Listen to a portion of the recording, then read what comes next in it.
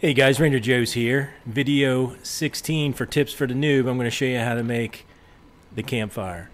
Now you're going to need to find an axe or a hatchet laying around somewhere so you can cut down a tree and get two wood logs. Of course, it would also benefit you to have a decent backpack so you can carry the stuff around.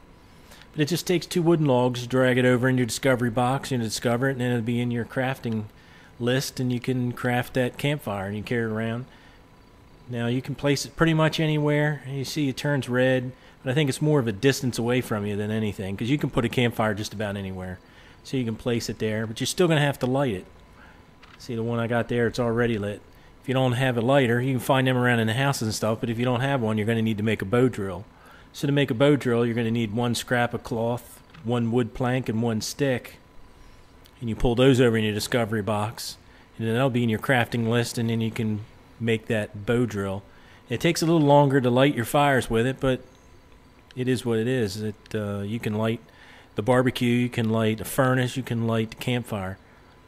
So the campfire or the barbecue, and I'll show you how to make that in another video, comes in real handy because if you find these empty bottles and you fill them, you're going to have at the minimum uh, stagnant water, if not dirty water, and you throw that in the fire so you can purify it. And also you can put your meat from uh, the deer or bear or wolves that you take, and you can cook it in there so you can have cooked food. So there you have it, the campfire. It's pretty simple, but it's something you're going to need when you're trying to make it in the zombie apocalypse in H1Z1. So have a good one, and we'll see you in the next video.